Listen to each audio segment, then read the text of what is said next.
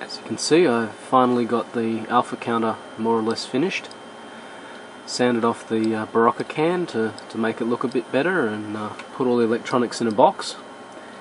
Attached a, uh, a digital counter module which I hacked over a bit, removed the button, added a piezo, put a LED in there. Um, I kept its uh, LR55 um, power cell but the uh, the main electronics is, is, powered by a 9 volt battery inside the case. In the uh, BNC connector here is a JFET, a 2N5484 uh, that's buffering the the chamber. And as you can see here, our source for this experiment is some lantern mantles, um, thoriated ones, the thorium nitrate soaked material. Um, they're a good alpha emitter, but uh, inside the plastic bag, very, very few alphas get through. So this is a, although it's a relatively strong source inside the bag, outside the bag it's a very weak source, so you're only getting a few counts per second over the whole surface.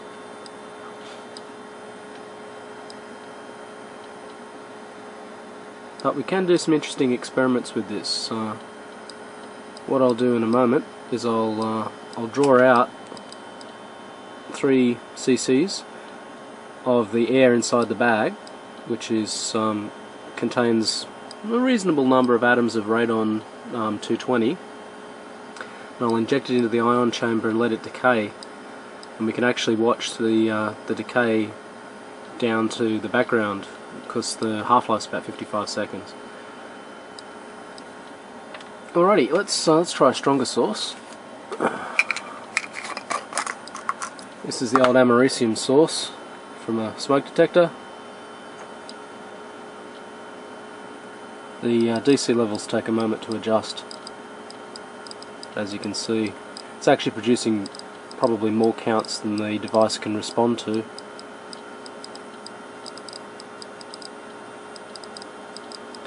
Although that uh, the distance, the spacing here between the source and the detector is pretty close to the MFP at uh, an atmospheric pressure for this particular alpha energy. So only a small fraction of them are actually making it through the into the chamber. I can put it at point blank range. You can see it's actually counting too fast for the circuit to count. This this counter module is a bit slow. It's uh, can probably only do about two counts per second, and um, the filtering in the device limits the the actual and the ion chamber's capacitance limits the entire device's counting rate to perhaps only a oh, maybe three counts per second at most. Anyway, there's nothing exciting inside the chamber. As you can see, it's just full of air. The uh, gate lead of the FET has been extended up into the um, the chamber and doesn't touch anything. The uh, the drain goes to the the can, which is biased to uh, about about eight volts. There's a capacitive um, multiplier to keep the the power supply quite noise free. The uh, the source goes to a resistor, um, about I think it's 860 ohms.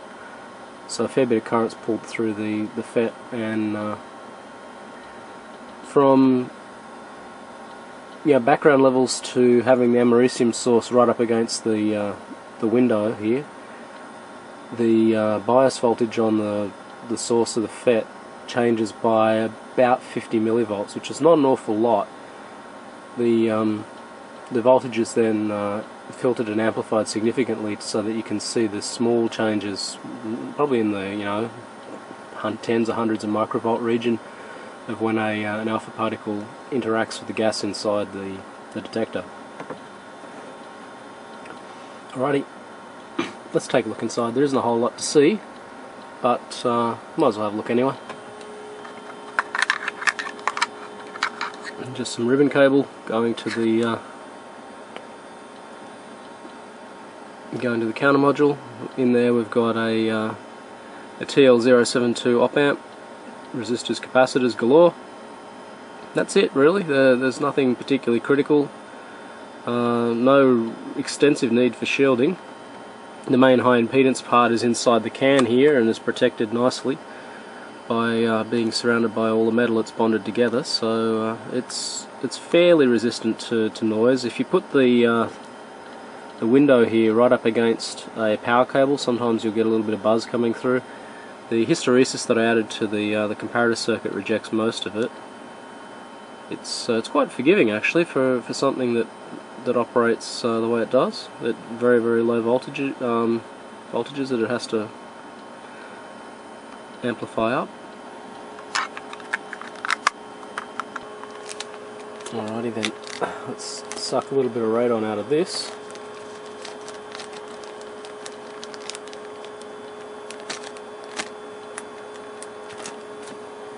And inject it into the cylinder. I'm going to reset the counter and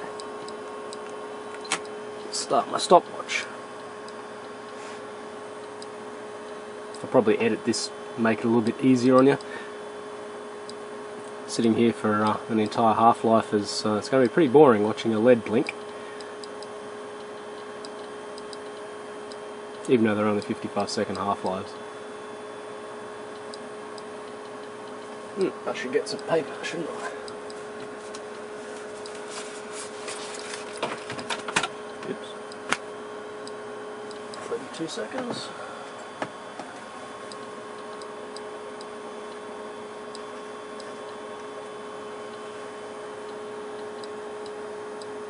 Okay, 43, 45.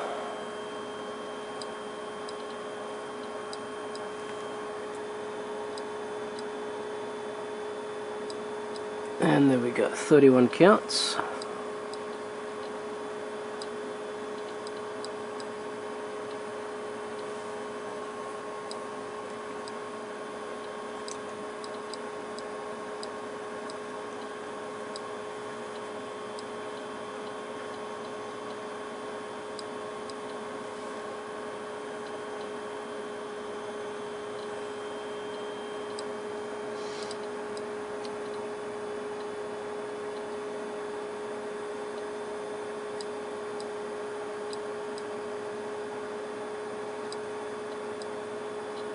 So the next one will be 1 minute 50.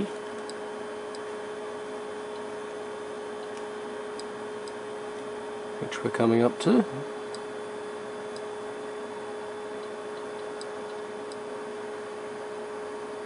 Okay, we had 49 counts at that point.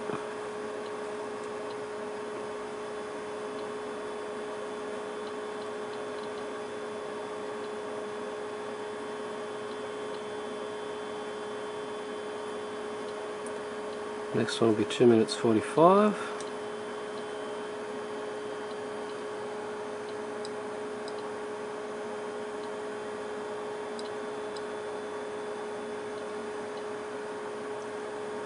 Obviously this is not a very precise test, the gas will, uh, even though it's, it's heavier than air, it's uh, I think its density is about 5 point something, so it'll tend to, to collect in the, cylinder, in the chamber, but uh, obviously it can diffuse out.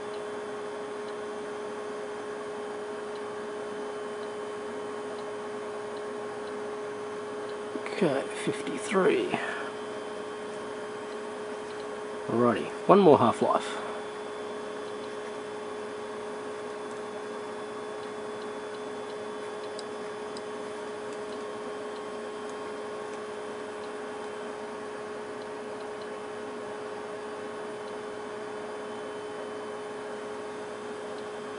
I don't think we'll get many counts in the fourth half-life.